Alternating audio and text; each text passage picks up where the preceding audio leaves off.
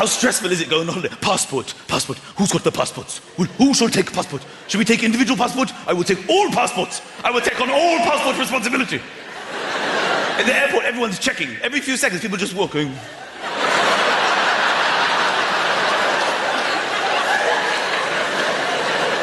Sometimes, for some reason, you don't find them. Ah! It's okay. I was sorry, I was looking in the wrong pocket. Oh my God, I thought it was over.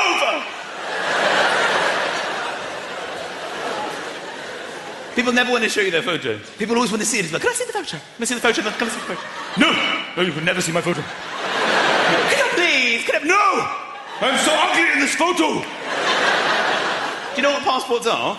They're an accurate representation of your face. So that you can pass ports.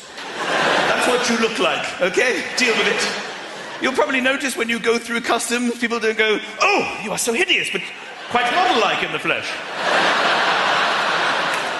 I will not believe it's you. They don't do that, do they? They go, ugly, ugly, get the bags.